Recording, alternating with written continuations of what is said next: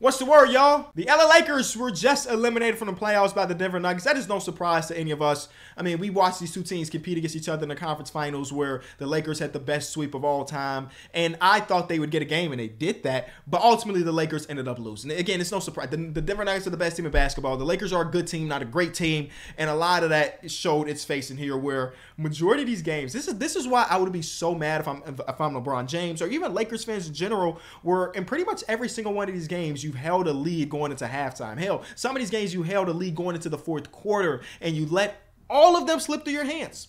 I watched the Denver Nuggets, and again, I'm so very impressed. It's been years of me saying this, but I, I can't express it enough. I can't believe that Nikola Jokic, who in my opinion is, the, is one of the three clutchest players in all of basketball right now, definitely the clutchest big in basketball right now, is on the same court with Jamal Murray, who's one of the clutchest guards in basketball as well. So you telling me we have two of the top clutch players in basketball surrounded by the best role player cast in hoops? It's hard to beat that team in a clutch situation. Jamal Murray had two of them things in this one series.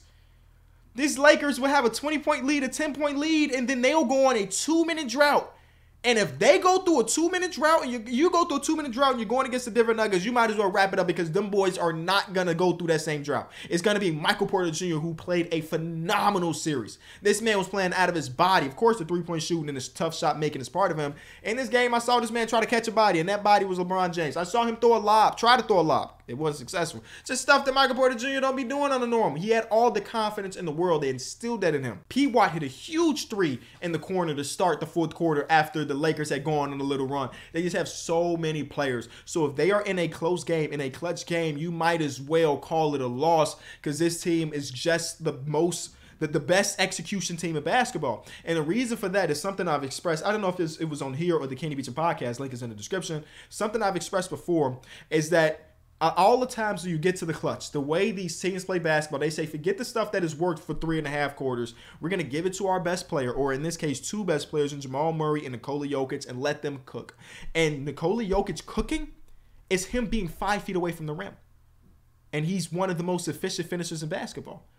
You know how like, and this is not a shot because Steph Curry just won Clutch Player of the Year and he deserved it. But like a, a Steph Curry clutch shot is a 30 footer in a lot of cases, but a super difficult shot that he makes a lot of the times.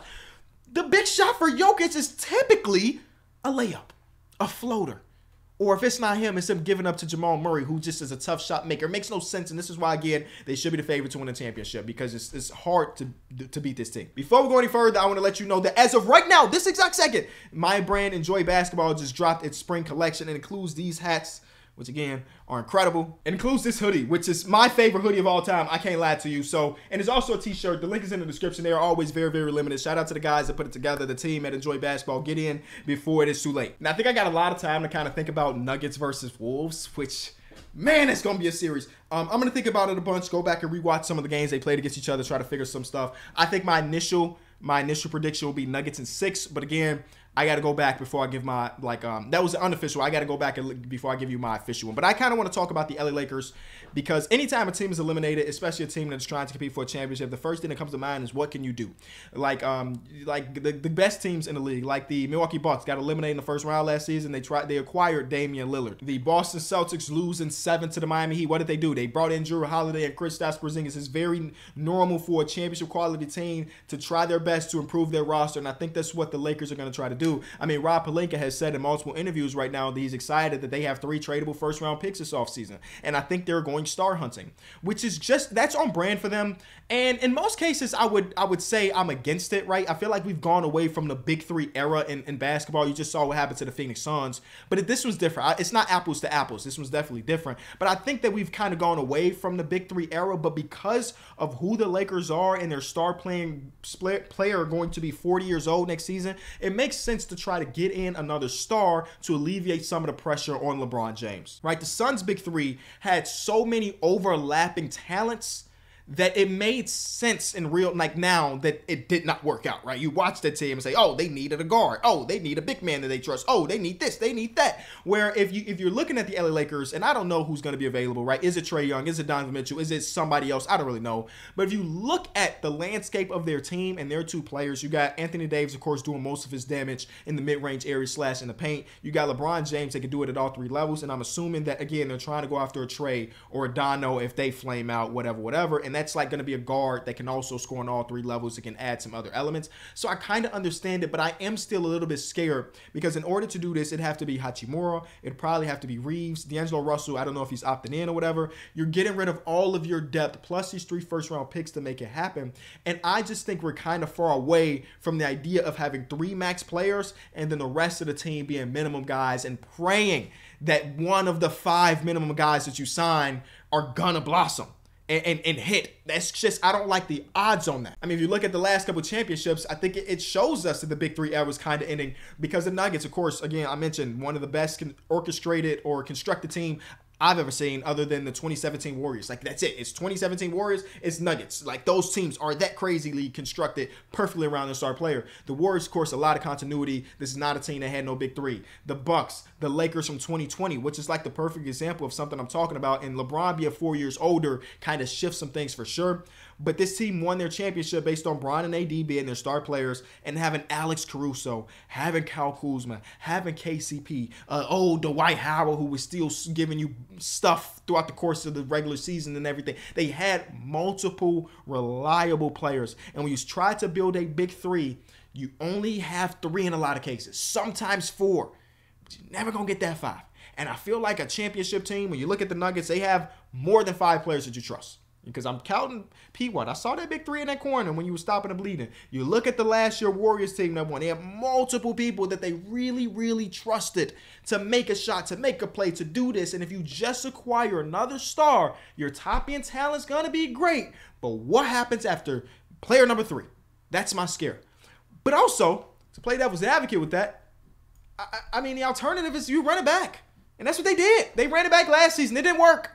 So now we can we can't do that two times in a row. So again, I understand it. I just don't know if Trae Young or Donovan Mitchell or these guys are available for the trade package they have to offer. I just I don't know. Time will tell. I think it would be important for LeBron James to show up to uh to USA basketball and try to do a little bit of recruiting. I know no matter what, when I wake up in the morning, I turn on ESPN or whatever um, uh, TV network I'm going to be watching. The conversation is going to revolve around Anthony uh, LeBron James requesting trade or moving on to his next team, especially considering Bronny might be hitting the draft. And two years ago, he told us that he wanted to play alongside Bronny and he was going to be on whatever team drafts Bronny.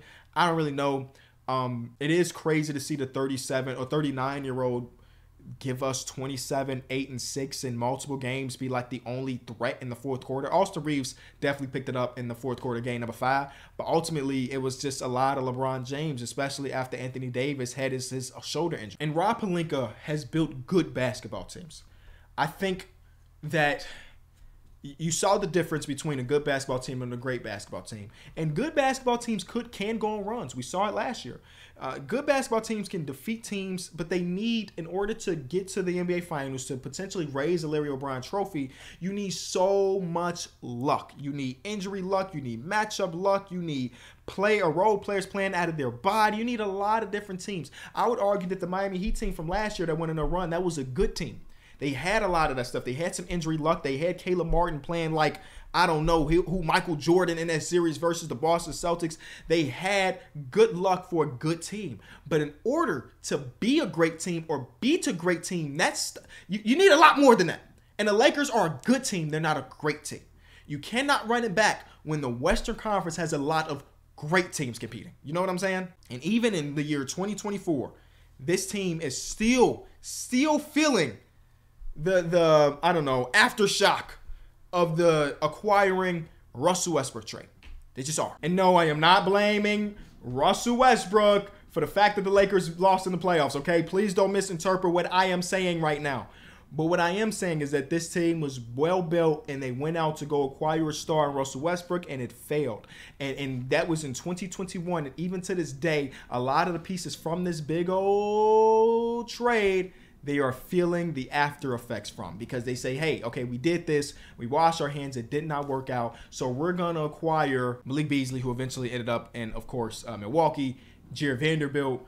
And then they decided this was the super interesting part. They got uh, D'Angelo Russell now too. The super interesting part of this is that they had an opportunity to go get Mike Conley, but instead opted to not bring in Mike Conley. Instead, Mike Conley ended up with Minnesota. There's just a lot of different stuff. But I think all things considered, the recovery trade is good, right? You got good pieces in this one but you still are feeling the effects of that. And I think that's how we get to the point we are right now. I don't know what's next for Bron or the LA Lakers or so on and so forth. They got a long offseason ahead of them. AD and LeBron are going to play Team USA. They got to do some recruiting if they want to raise Larry O'B again. Um, but man, it is very, very weird that there's no Kevin Durant, no Steph Curry, and no LeBron James for the rest of the playoffs. We won't see them play again until the Olympics. It's just different. We've seen those dudes dominate. We've seen these dudes dominate and get deep runs and championships and so on and so forth. Not anymore. I guess we're in a new era. It's the Anthony Edwards era. It's the Nikola Jokic era. It's somebody's era, somebody else's era. And I feel like an old man saying that.